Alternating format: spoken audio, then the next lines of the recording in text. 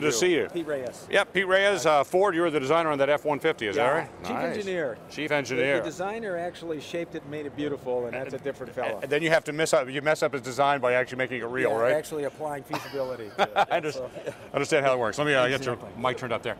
Uh, we were just, uh, I was talking to, to Auto Week, Rory from Auto Week about uh, the F-150. Obviously, this is this is a, uh, a reveal yesterday that probably made as big a splash as anything that happened around here. I'm going to poke this up right here. So we're taking a look at uh, at this that truck you built right here.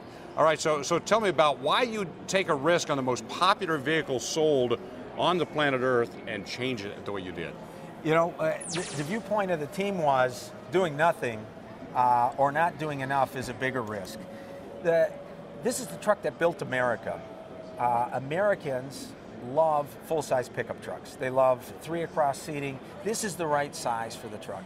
But they also like fuel efficiency and something that's good for the planet. And the idea of lightweighting this and keeping it just as tough uh, gave us capability, toughness, and efficiency. And we said, hey, this is the and solution for the customer. This is the this is going to change um, this industry, and this is a new proposition for our customer, and we're really excited about it. It, it delivers both size, capability, and efficiency. Now, Pete, I'm, I'm going to guess at some point in the process, a few years ago, when you were in the in, in the midst of designing this truck, either you or somebody who works with you came in and said, "Let's try aluminum." Yeah. What was the first re- response? Well, funny, I was put on this program a year before you would typically kick off a program, and I was told, uh, we've got an idea to use aluminum alloys. And I immediately went over to the research group, which was doing this. And that was exactly my reaction. Wow, aluminum, that's really radical. I know you can do it in heavy trucks, and I know they do it somewhere else, but we're talking high volume. And the most comforting thing was I went to a research group, and these guys had been doing aluminum for 20 years. Our research group has assisted Aston Martin, uh, key behind Jaguar, some Land Rover work, and they basically said from first meeting, Pete, we absolutely know how to do this. We know how to do this. It's just we got to have the will to do this. And I said, okay, take me through it. When we're talking aluminum, also, uh, you know, people think of, you know, you- you're going to get the inevitable uh, column. I'm sure that's going to say it's like a tin can, was what people think about. But this is really high grade, like aircraft aluminum. This is the stuff that they've been putting on airplanes for years. Yeah, it's it's been in the military, it's been on aircraft. I would say go around, thunk the body panels.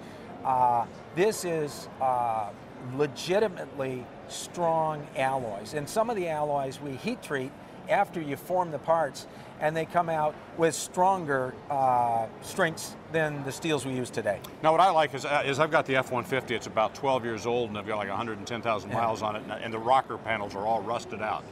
Uh, it just seems to me with aluminum that maybe that's not going to be an issue. Yeah, that won't be an issue. Aluminum, one of the beautiful things is it doesn't have red rust. It doesn't corrode through. It, you know, uh, aluminum will last forever. And when the truck is finally exhausted, it's uh, infinite re- infinitely recyclable.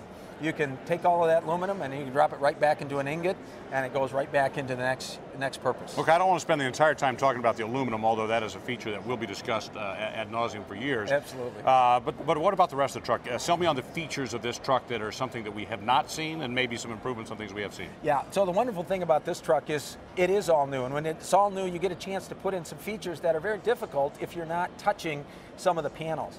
So first and foremost, uh, we're really excited that we've got cameras all the way around the vehicle. You've got optional 360 degree cameras.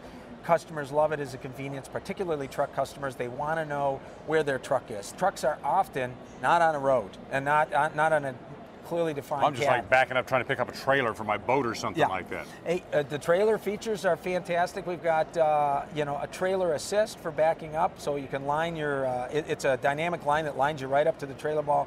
But maybe more important for trailering is smart trailer tow. Our trailer tow module uh, can check and tell you. Uh, the state of your brake lights, your running lights, battery charge, everything if your trailer's good to go without somebody having to go around and check all of those lights. And it shows you with an icon which light is out. It just doesn't say light out, it shows you with a picture of the yeah. trailer light out. Um, that's another terrific feature. Um, you know, uh, front end uh, radars that give you adaptive cruise control, collision mitigation warning, radars at the back of the truck for blind spot, cross traffic alert. These are things that when you get a chance to do a new truck, uh, you, you have to integrate into the design. Mm-hmm. Uh, there's 11 class exclusive features. One of the things truckers love is 400 watt power inverter. Uh, Mm-hmm. So you typical can to the industry. saws and things Yeah. like that. Typical to the industry, you can run bigger tools. I'm not sure that all the saws work. uh, but typical the industry is 150 watts. And our customers say we want more. And then when you see how big this inverter is, you go, yeah, I, you, you do place this in a cab when you redesign the whole cab. Otherwise, it's in the middle of a floor that you're kicking, and uh, you've traded one benefit for another. So, a lot of class exclusive features, purpose built uh, for a trucker. Last one I'll mention is spotlights.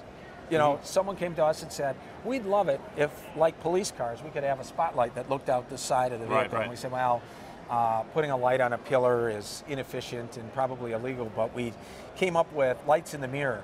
And with a switch, you can hit and light up either side of your vehicle. Mm-hmm. So, working at night, which truckers do, camping, all of that stuff. Another example of a convenience that we've integrated not only into the mirrors, but all the electronics in the vehicle and buttons right there at the command seating in this vehicle. We're talking to Pete Reyes right now, the, uh, the, the guy who built the F-150 that's getting all the buzz here. Uh, how does that make you feel when, when, when that product is finally revealed out there? This has been your life for how many years? You know, the first feeling is it's exciting, but it's relief. Mm-hmm. Uh, we take so much care to make sure that all of our prototypes are camouflaged and images Right, right. don't get out.